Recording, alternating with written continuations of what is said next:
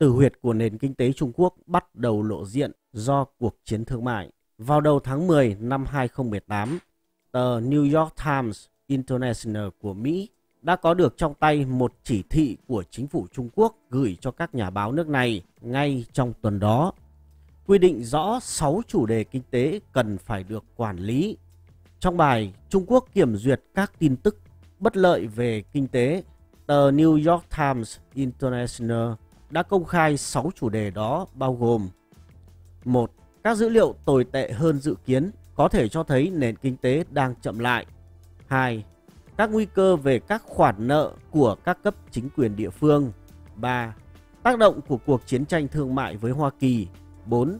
Các dấu hiệu suy giảm niềm tin của người tiêu dùng. 5. Các nguy cơ lạm phát hoặc tăng giá cùng với sự tăng trưởng kinh tế chậm lại. 6. Các vấn đề thời sự nóng bỏng cho thấy những khó khăn trong cuộc sống của người dân. Có thể thấy rằng đây là một trong lần hiếm hoi mà báo chí quốc tế phát hiện được một văn bản chỉ thị của chính phủ Trung Quốc liên quan đến tính đặc biệt nhạy cảm về kinh tế. Như một thói quen suy luận ngược, gần như bất kỳ vấn đề gì mà một chính quyền độc trị cấm cản thông tin thì đó chính là thực trạng trầm trọng của chính quyền đó. Tăng trưởng kinh tế chậm lại như khái niệm trong chỉ thị của chính phủ Trung Quốc hoàn toàn có thể được hiểu là nền kinh tế nước này về thực chất đã rơi vào suy thoái khi GDP giảm trong hai quý hoặc hai năm liên tiếp.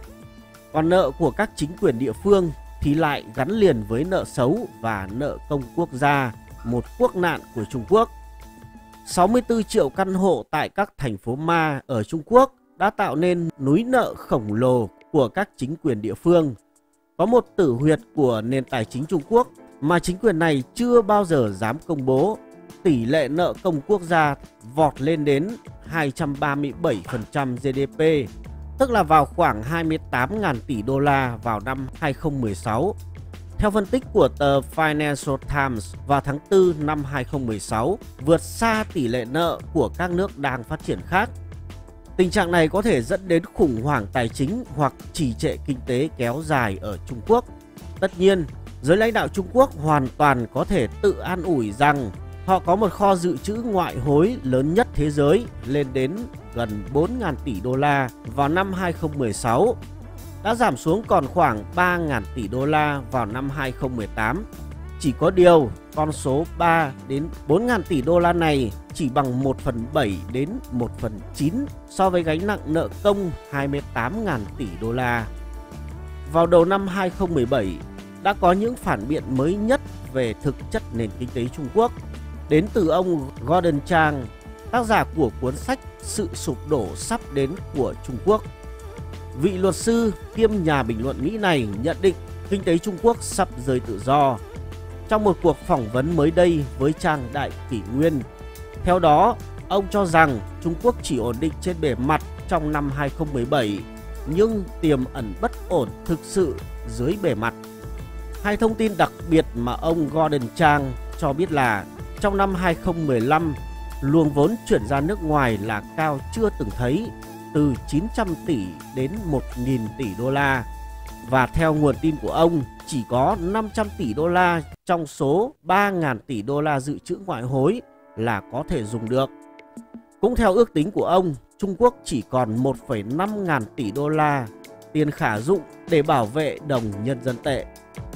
Vào năm 2018, cuộc chiến tranh thương mại Mỹ-Trung mới chỉ đi vài bước khởi đầu nhưng đã có quá nhiều dự đoán từ giới phân tích rằng Bắc Kinh hầu như không thể có được xác suất thoát hiểm trong cuộc chiến này.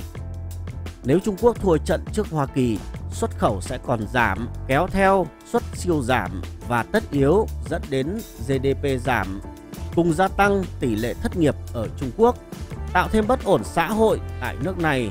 Cũng theo đó, quỹ dự trữ ngoại hối sẽ khó cầm cự được ở ngưỡng 3.000 tỷ đô la. Còn môi trường đầu tư nước ngoài sẽ còn bị thoái vốn mạnh hơn và có thể đẩy nền kinh tế Trung Quốc trở về thời trước khi tăng trưởng nóng cách đây vài chục năm. Tử huyệt kinh tế Trung Quốc bắt đầu lộ ra lại bằng chính bản chỉ thị lệnh ông tôi ở bụi này của chính phủ Trung Quốc. Bài viết của trang Việt Nam Thời báo